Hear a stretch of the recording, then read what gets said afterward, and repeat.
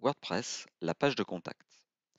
Généralement, nous avons toujours sur un site web une page de contact qui va permettre de créer de l'interaction entre l'internaute et le webmaster. Nous, allons donc créer cette, euh, cette nouvelle page en faisant page, ajouter une nouvelle page. Et là, WordPress va me proposer des modèles prêts à l'emploi. Alors, si je descends un peu dans la liste, j'ai un modèle qui s'appelle Contact. Et justement, ce modèle me convient parfaitement. Donc, je vais cliquer dessus. J'ai donc un titre qui s'appelle Contact, j'ai un une petite introduction, j'ai le nom euh, de l'internaute, j'ai l'email de l'internaute. Ces deux informations-là seront obligatoires. Et puis, il va pouvoir me rédiger un petit, un petit message. À droite, des informations. Donc, ce que je vais faire, moi, c'est que ces informations-là, je les voudrais plutôt à gauche. Donc je vais me positionner dans la colonne. Donc là, attention, je n'ai qu'un petit bout de la colonne. Donc je vais cliquer sur ce bouton-là qui permet de sélectionner la colonne entière. Et maintenant que j'ai sélectionné cette colonne entière, j'ai des flèches de déplacement qui vont me permettre de dire non, je ne la veux pas à droite, je la veux à gauche. elles vont se déplacer d'un cran vers la gauche. Et donc du coup, là maintenant, mon texte se trouve ici. Je vais pouvoir supprimer ce bloc calendrier je vais également supprimer tout ça qui ne m'intéresse pas. Et je vais à présent créer un bloc paragraphe dans lequel je vais, écrire peut-être euh, contactez-nous en titre. Ah ben c'est déjà noté, donc composez-le.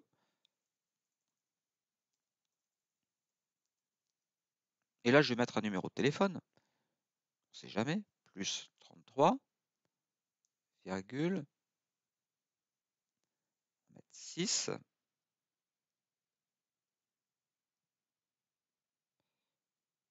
zéro, et là on va mettre 4, 42, 13, 94, 78. Je vais mettre un numéro de fixe, ça fait plus sérieux qu'un numéro de portable. Euh, en dessous, donc je vais créer un deuxième bloc. En dessous, on va mettre vous pouvez également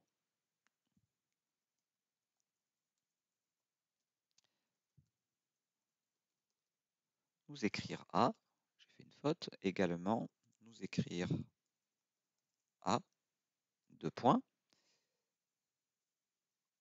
Ensuite, on va descendre encore.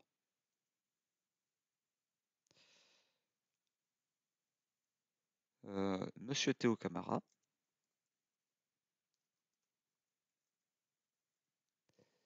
Et là, je n'ai pas envie de sauter un paragraphe parce que sinon je vais sauter une ligne. Si je crée un nouveau paragraphe, je vais faire un retour ligne. Donc en fait, je vais appuyer sur la touche majuscule, celle qui est juste en dessous de la touche entrée, et puis entrée en même temps. Et donc je vais juste à la ligne. IUT, d'Aix-Marseille. Site d'Aix-en-Provence.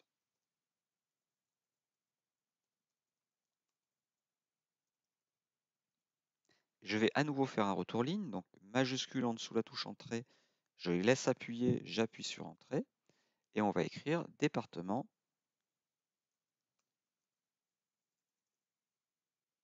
technique de commercialisation.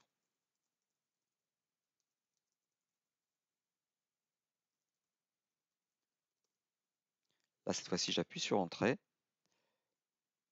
Et on va mettre 413 avenue Gaston Berger. Majuscule entrée à nouveau. 13100. Aix-en-Provence.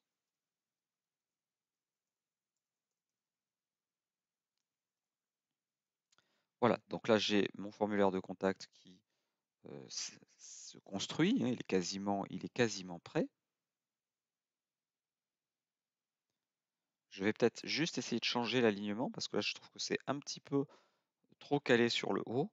Donc, je vais, quand j'ai ma barre d'outils là, que je clique sur un paragraphe, je vais cliquer sur sélectionner colonne et je vais gérer l'alignement. Au lieu d'aligner en haut, je vais aligner au milieu.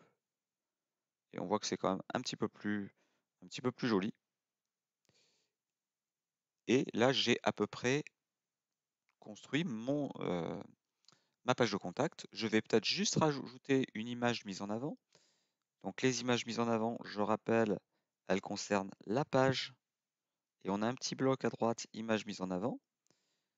On la, vous la trouverez sur Amétis hein, ou, dans la description de la vidéo YouTube. Moi, je l'ai téléchargé sur mon ordinateur, mais pas encore sur l'ordre. Si elle est ici, euh, sinon vous allez faire, euh, vous allez ajouter nouveau, hein, tout simplement, et puis là vous allez chercher dans, mes téléchargements si vous l'avez euh, si vous l'avez téléchargé. Voilà, elle s'appelle Contact. Comme je viens de la télécharger, elle est déjà présente dans ma bibliothèque de médias. Je clique dessus, je l'insère. Donc elle est ici, elle viendra se disposer en fonction de, de, ce que me proposera le, modèle, le template de, mise en forme qui est par défaut placé ici.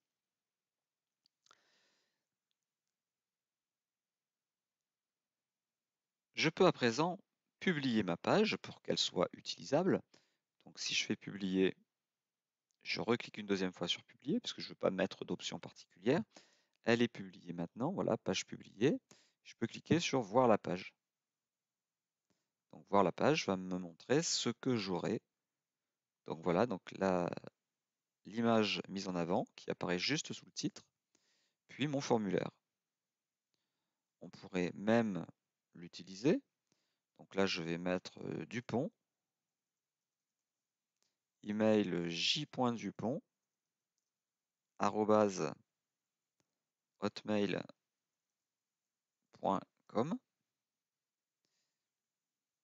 et en message, super ce site, mais diversifié plus vos recettes.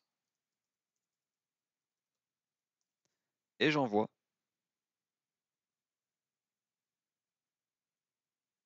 Donc mon formulaire a l'air de fonctionner. Voilà, puisqu'en fait, euh, j'ai bien euh, un message qui me dit message envoyé.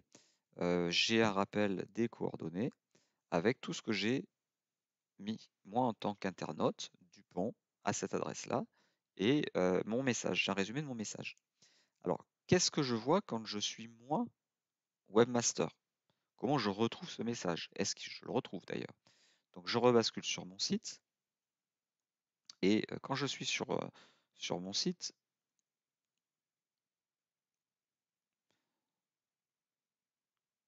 j'ai ce qu'on appelle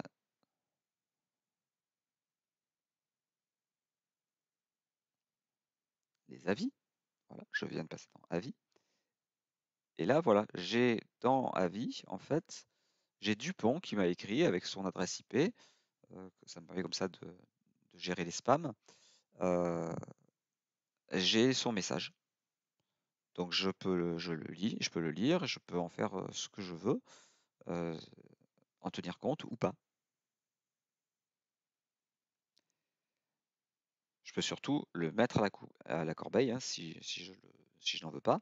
Comme ça, je ne garde que la liste des euh, questions-réponses ou remontées d'informations qui m'intéressent. Et lorsque j'en ai un certain nombre, je peux les exporter au format CSV. Le format CSV, c'est un format tableur. Donc je pourrais rouvrir après l'ensemble des, euh, questions qui m'ont été remontées à travers un tableur et les traiter comme ça d'un coup ou les faire passer à quelqu'un qui sera chargé de, les traiter. Voilà, j'espère que cette vidéo vous a plu. Vous avez vu que faire un formulaire, euh, c'est très simple. Il suffit simplement de personnaliser un formulaire existant. On aurait pu aller beaucoup plus loin. Mais bon, on n'a pas besoin de s'étendre tellement là-dessus. Si vous avez aimé, n'oubliez pas à liker cette vidéo et puis à vous abonner à la chaîne si ce n'est pas encore fait.